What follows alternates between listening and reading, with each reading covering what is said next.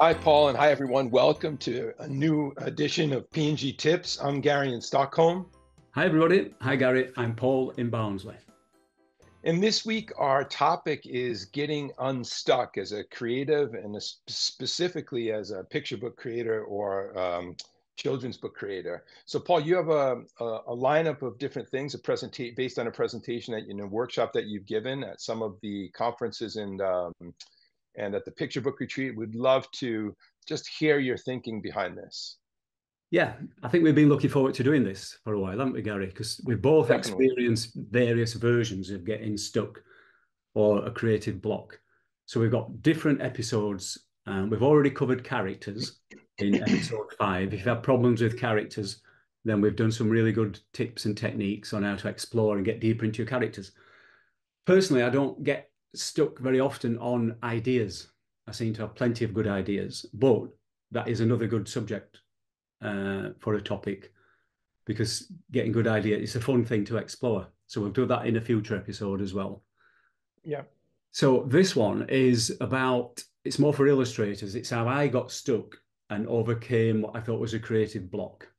So I'm going to share some screens and we can look at some of the screens I've prepared and you can ask me some questions about it.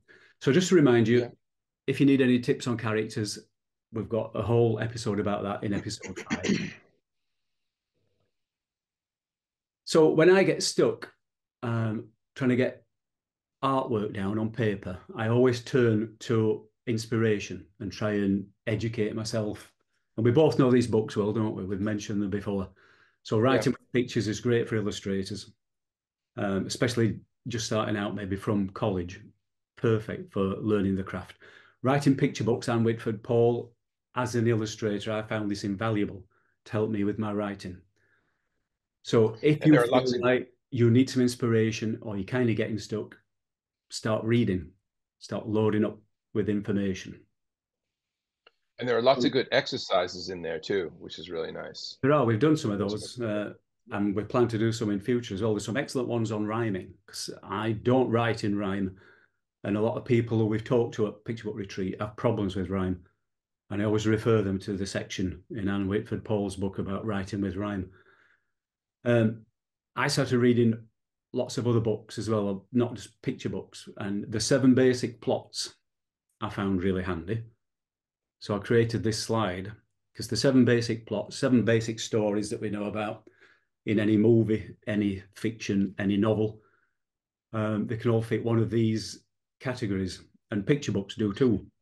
Can be quite. That's interesting. Sorry, that's interesting, Paul, because I I have um, I've heard of these plots and these story different story types, but I haven't read that book, so um, it's it would be interesting to hear a little bit more about that. And the, some of them are quite obvious when you see them, like overcoming the monster and the Gruffalo. You think, oh yeah, that, that's quite simple.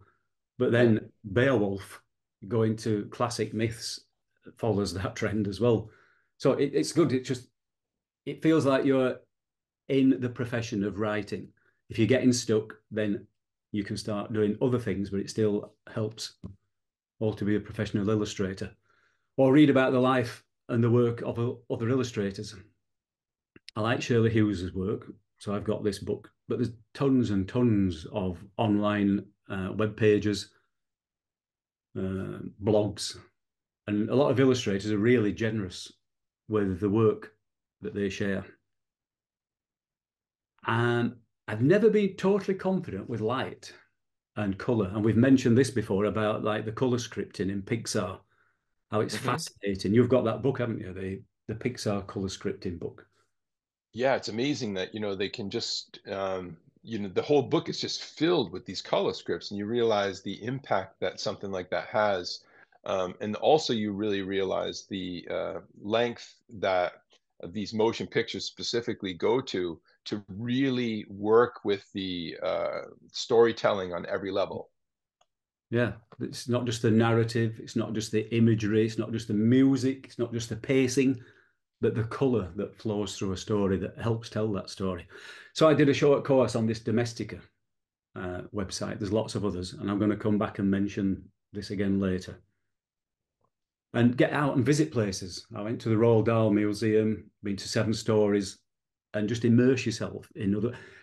I suppose in a way it's daunting because you think, well, I'm feeling stuck, and all these people in the books and the museums and the galleries, they're doing it, and this is you're looking at success, but it helps rub off on yourself. And then I'm going to give you some tips and techniques of how to crack being stuck. As I said, really generous, especially um, this picture book den. Some of our SCBWI members are on this picture book den, and Mini mm-hmm. Grey belongs to it. And look how generous she is with her work. They're almost like mini books in the, themselves when she posts something really informative and helpful. So you could spend hours and hours just reading through how other people do it. And then Books for Keeps, I highly recommend. It used to be a paid for subscription. Now it's completely free. So have a look for mm-hmm. booksforkeeps.com. You can subscribe to the digital version of the magazine. There's always interviews with writers and illustrators in the middle of the book, of the magazine. So I was stuck because in the past, and I've probably mentioned this before, I've done a lot of commercial work, I've done greetings cards, and this was a very, very early version of my Bug Belly story. And this is the artwork I came up with. It's a countdown book, and it's colourful and pretty, but it's not what I wanted. And I could tell it's mm. just not what I wanted on the page. I like the work of Benji Davies, Jim Field, Chris Haughton, uh, Jon Klassen, Jonny Duddle. I don't want to copy them, but I want something more from me that feels like me. So I was totally frustrated with this. And it got so bad, so desperate that I just couldn't put pen to paper because I knew I was going to turn out images like this. And so it hmm. like paralyzed me and I was frozen. And it got I got so desperate that I used to leave a sketchbook open in the kitchen next to the kettle, in the bedroom on the drawers in my studio. And if I was making a cup of coffee, I'd open the sketchbook and do a few drawings, knowing that there's no harm in that. Nothing's going to be precious. It's not finished artwork. And every time I went past the sketchbook, I would stop and do a few uh, minutes drawing. And it's the drawing, drawing, drawing that is the first stages that unlocked this creative paralysis for me. So I started reading about it because obviously I'm not unique. Everyone, I think, suffers some kind of creative block. Get out of your comfort zone was one of the first things I read about. Stop mm. thinking that you're doing the finished piece. Stop thinking that you're doing the one piece. You need to explore.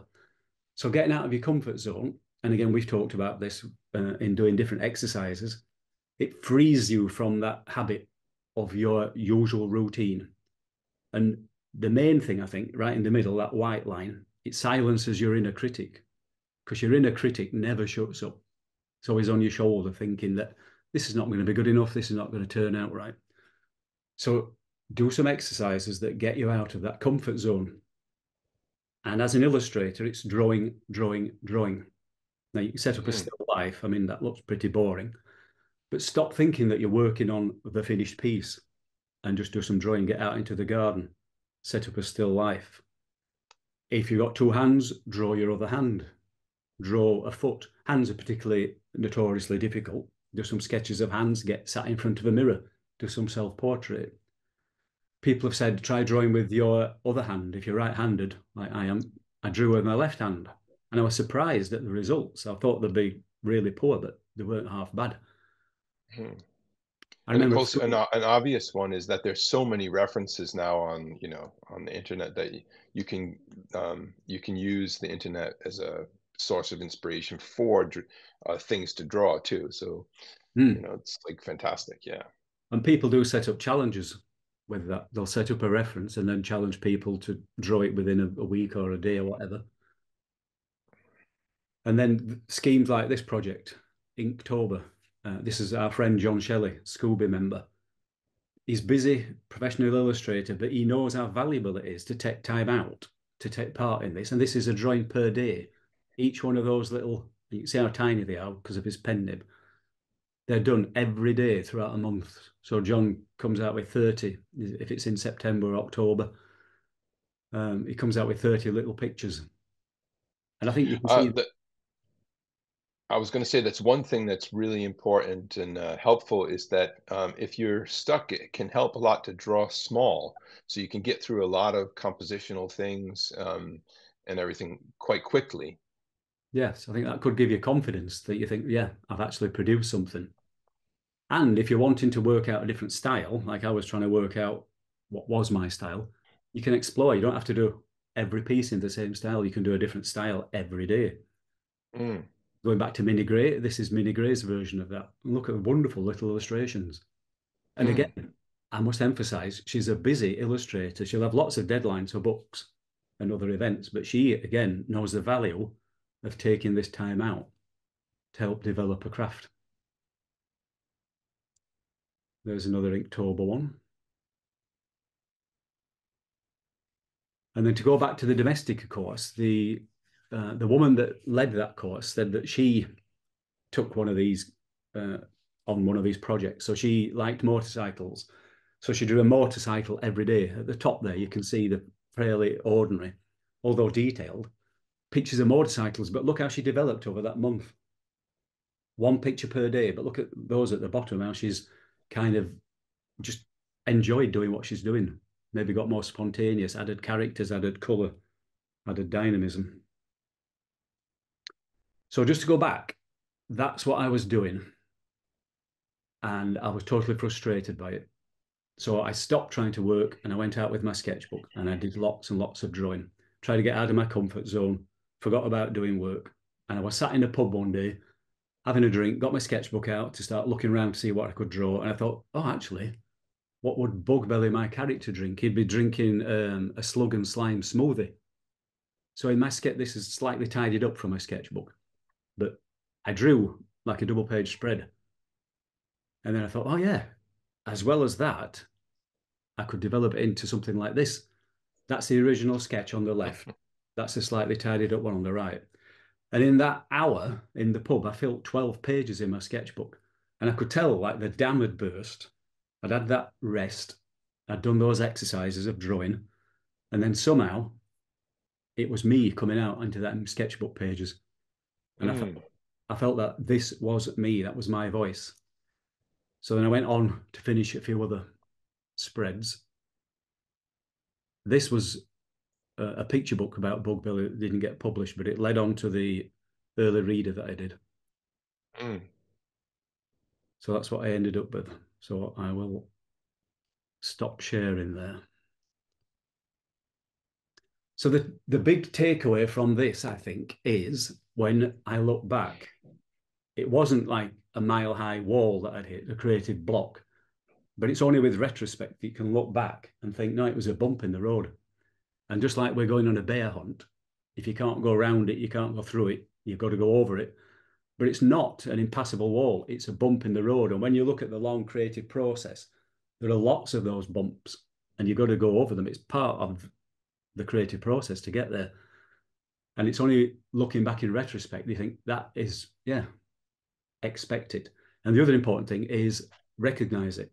So in future, I knew right because I always suffer from that getting mm. down paper what I want. But I recognize when you get to that stage and think, I'm frustrated, yeah, I'm at that stage again, but I know that there's a way ahead and you just need to use some of these techniques to get around it. So helpful, so helpful. Um, especially that kind of insistence on, you know, continuing to draw and draw and draw. And even if it's not the thing that you're doing, specifically if it's a still life or whatever, to just keep that process going and then eventually things are happening inside right? And then it all kind of can burst open. Um, and we can also often get a little bit um, disillusioned or not feel like we can proceed. But if we keep going in any direction it's going to lead us towards what we're going for because we know that we still have this kind of focus towards this uh, you know this creation that we're aiming for. That's right. And as i said i'm not unique we've heard lots of illustrators talking at conference at picture book retreat they suffer from the same thing. They'll take them off themselves off for a walk mm. get outside or they'll go and do drawings or paintings and as well as working small to rapidly produce something. I've heard that they also work big just to free up your mind and like I say get out of your comfort zone. So that's one set of tips for becoming unstuck. Um, super helpful and I know you've got future ones, and we're going to come back to this and do a, different episodes on this. Yeah, definitely. I have one um, based on this idea of like uh, micro steps. Um, it's one of the things when I do other kinds of um, presentation and talks about kind of making micro habits or micro steps. Um, it can help in the process. So we can talk about that maybe next time or another time. Uh, and then I was I was thinking um, another one that might be useful for all of us is that to get unstuck like a kid gets unstuck. You know, um, a lot of times, especially as adults, we feel like we have to do it. But when you see uh, kids, we they're playing with each other a lot, um, and we tend to drop the idea of like collaboration or uh, playing together or working together, and yet um, as individual like siloed creatives. But if you actually work in an agency of course you're often doing brainstorming sessions and things like that. And we as creatives kind of uh, sometimes forget that i think uh, so we can talk a little bit about that. Yeah I, de- I definitely feel like a hermit sometimes just working here. Yeah. Studio mm. it is fun because we we know that we've we've done this kind of playing when we get to picture book retreat and it's so much fun. Yeah and times like this, when you and I meet on on Zoom, we do maybe do a few exercises, uh, and we can mention them in future. So right, yeah, that's maybe it for perfect. This. Yeah, so thanks everyone, and uh, look forward to our next uh, PNG tips. Yeah. See you, Paul. See you again. Bye.